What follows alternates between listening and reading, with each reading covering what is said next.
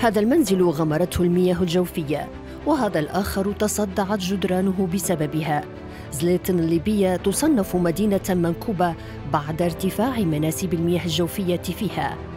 السلطات ترفع حالة التأهب وتدق ناقوس الخطر من تفشي أمراض متصلة بالمياه الملوثة الممزوجة بمياه الصرف الصحي ومياه الأمطار ناهيك عن تسرب شبكات إمدادات المياه القديمة والمتضررة.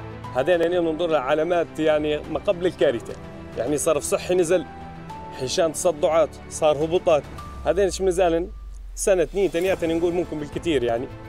طول إحنا ما نقعدوش نراجعوا إن ثلاث سنين أربع سنين واحد من الجيران حوشة نزل عليه والله. المية هذه تسببت لي تشققات وطلعت من البيت أنا وصغاري. باهي. وإن شاء الله خير عند ربي وطلعت البيت واحد أي شخص بيطلع من بيته هاي بالسهلة يا جماعة.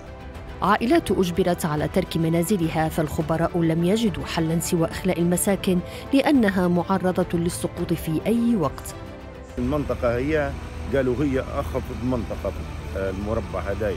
تجمع في مياه أكثر من اللازم في اللي يقول بير عربي يطلع في اللي يقول بير المورد هذا نتاع الطوب وحشاك الجعبة يطلع في المية. إحنا اصبحنا كل يوم نسحبوا قريب حوالي 38 رحلة 40 رحلة نوصلوا في عدد السيارات. السلطات الليبية أعلنت أنها ستقدم الإعانات على شكل مبالغ مالية ليستطيع الأهالي تأجير منازل أخرى. هذه المقاطع المصورة تم تداولها على مواقع التواصل الاجتماعي تظهر حجم الدمار الذي تعرضت له المدينة.